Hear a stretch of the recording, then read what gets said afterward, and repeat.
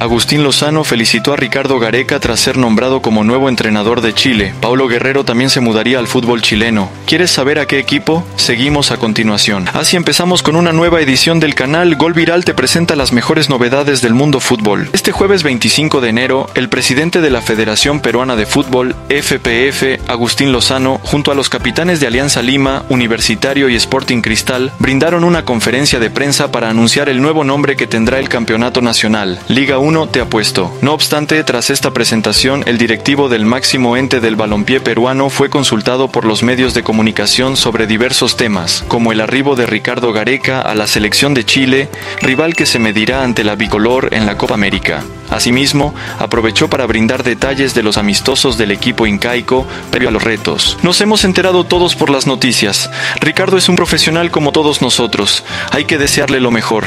Indudablemente cuando juegue contra Perú no podemos desearle lo mismo, pero bien por él y su familia. En el fútbol suceden estas cosas y hoy lo tenemos al frente como un rival, señaló el dirigente a los medios de comunicación. Consultado sobre los amistosos ante Nicaragua y República Dominicana, Agustín Lozano aseguró dio detalles y confirmó que estos encuentros se disputarán en el Estadio Alejandro Villanueva y Monumental. Tenemos dos amistosos en marzo, uno se va a jugar en Matute y el otro en el Estadio Monumental. Es una decisión que ha tomado el comando técnico y nosotros como federación estamos para darle las facilidades, cero. Asimismo sostuvo, cuando se eligen a los rivales hay propuestas naturalmente de diferentes empresas. Nosotros respetamos la decisión del comando técnico. Creo que los técnicos tienen sus estrategias antes, durante y después de los partidos. Nosotros como dirigentes estamos para colaborar con ellos. Eso sí, el presidente de la Federación Peruana de Fútbol, FPF, confirmó que aún no han elegido a los rivales para la fecha FIFA de junio, aunque es probable que estos cotejos se disputen en Estados Unidos. Para junio aún no se conoce nada de amistosos, es muy probable que estos partidos se jueguen en Estados Unidos porque estaremos en la Copa América. Sí, ya este, fue anunciado por, la dirección deportiva. Tenemos dos amistosos en marzo, indudablemente que uno de ellos se va a jugar en Matute, el otro se va a jugar en el Estadio Monumental. Es una decisión que ha tomado el comando técnico y nosotros como federación estamos para darle todas las facilidades, toda la logística y, que esto sea el inicio de, del propio Fossati eh, tratando de encontrar el equipo ideal que nos pueda lograr alcanzar los triunfos que uno desea y que obviamente se van a dar de manera oficial en la Copa América que se avecina. Sí, nos, hemos enterado todos por las noticias. Eh, Ricardo es un profesional como todos nosotros. Hay que hacerle lo mejor. Indudablemente que cuando juegue con Perú no podemos hacer lo mismo, pero bien, bien por él, bien por su familia y, y creo que era normal. En el fútbol suceden estas cosas y hoy lo tenemos al frente como un rival y, vamos a competir con él de manera profesional como corresponde. Siempre vamos a estar agradecidos por todo lo que hizo por el país, siempre vamos a estar agradecidos por todo lo que dejó en el fútbol peruano. Pero hoy estamos en un escenario distinto y nosotros tenemos que abocarnos a darle el respaldo y a darle el respeto y todo el apoyo al profesor Fosato. Y con eso nosotros tenemos que abocarnos para que nuestra selección llegue en el mejor nivel y podamos este, recuperar el espacio que, que necesitamos para poder clasificar al próximo mundial. No, para junio aún no se conoce nada todavía de amistosos, pero es muy probable que como vamos a estar en Copa América tengan que jugarse estos partidos en Estados Unidos. Es probable, pero vuelvo a reiterar, la palabra final la tiene el profesor Fossati. Luego de su exitoso paso por Liga de Quito, donde alcanzó el torneo local y la sudamericana, Paolo Guerrero quedó libre y por ahora viene trabajando en su futuro inmediato para la temporada 2024. En medio de ello, según informan desde Chile, el depredador entró en la órbita de Colo Colo como posible incorporación para disputar la presente campaña del Campeonato Nacional, el cual iniciará a mediados de febrero. Asimismo, desde el país sureño también señalan que el atacante nacional ya tuvo en sus manos un ofrecimiento de la Universidad de Chile, la misma que rechazó. El Deportivo, suplemento del diario La Tercera, confirmó este jueves que un grupo empresarial puso el nombre de Paolo Guerrero sobre la mesa del cacique, con la finalidad de que analicen su fichaje en este mercado de pases. De momento, la única incorporación confirmada por el elenco mapuche chino ha sido la repatriación de Arturo Vidal, quien regresó al club de sus amores después de 17 largos años. Si bien la Secretaría Técnica de Colo Colo no tiene como prioridad fichar a un centro delantero, el simple hecho de que se trate de Paulo Guerrero podría modificar sus planes tomando en cuenta que a pesar de sus 40 años sigue vigente y lo demostró recientemente ganando la Liga Pro y la Copa Sudamericana con Liga de Quito. Del mismo modo, sería un refuerzo de lujo para Jorge Almirón.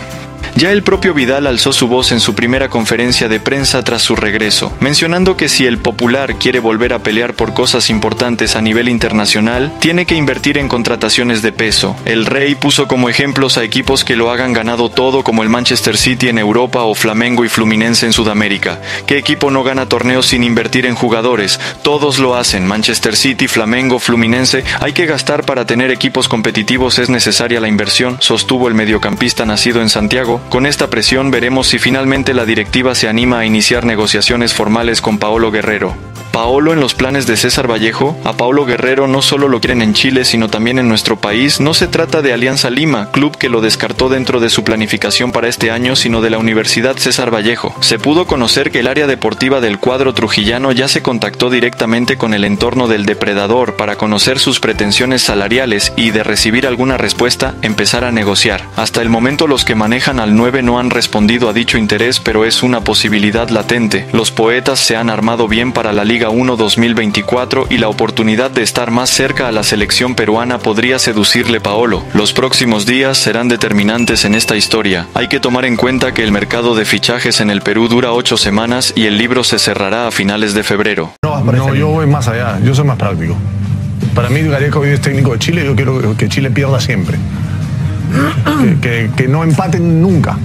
A mí me enseñaron desde chiquito, yo cuando empecé a ver fútbol, eh, a los 6, 7 años, Perú-Chile en la eliminatoria del 77, eh, la Copa América del 79 con Chile de nuevo, en el 85 nos dejaron afuera del Mundial de México.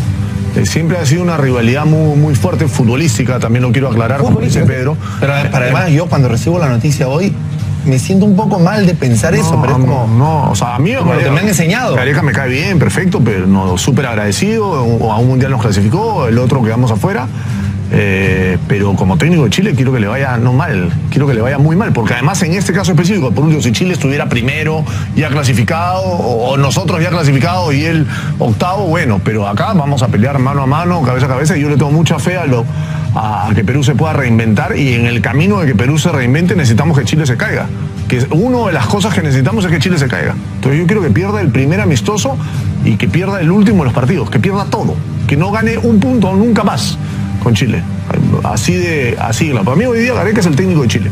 Y, también coincido con Michael en que si hubiera sido inmediatamente, lo sentiría más, pero en el camino pasaron muchas cosas, ¿no? 18 meses, dirigió a Vélez, vino Reynoso, vino Fossati, la federación no le quiso renovar, eh, él, él, tampoco hubiera querido regresar a Perú porque no, no, no, no querría trabajar con el presidente de la federación, entonces ya es algo eh, no hay que andar caminos desandados, me dijeron una vez. ¿no? ¿Qué tal frase esa? Buena frase. Entonces, ya, ya lo, que pasó, pasó. Y es más, lo dije una vez acá y gente, alguna gente no me creyó. Yo no quería que Gareca vuelva a Perú. Yo creo que las, las segundas partes eh, no, siempre funcionan. Vuelvo a Sabina. Claro. Al lugar donde fuiste feliz no vuelvas. Yo estaría, ¿sabes, en, qué coyuntura sí estaría dolido? Como tú, si Perú le hubiese ofrecido el cargo y Chile también en diciembre. Y elegía Chile. eso, es otra, eso, es otra, cosa. Ahí sí. Y también entiendo al hincha, pero creo que los que estamos en el fútbol nos volvemos un poco más fríos en, todas estas cosas porque, porque ha pasado. Vivimos alrededor de un mundo y somos eh, ya mucho más fríos para tomar decisiones. ¿no? Lo, lo, afectivo, y eso lo hablamos el otro día, este, con lo de Canchita, y si es de la U, si es de Cristal, eh, todo, o de Jairo, si es de Alianza, si es de la U, el futbolista, futbolista es sí mismo y el técnico también es hincha de sí mismo. Y así ponemos punto final al video futbolero del día de hoy. Agradecemos que hayas llegado hasta aquí. Coméntanos qué te parecieron las novedades del día. Nos vemos muy pronto con más contenido futbolero.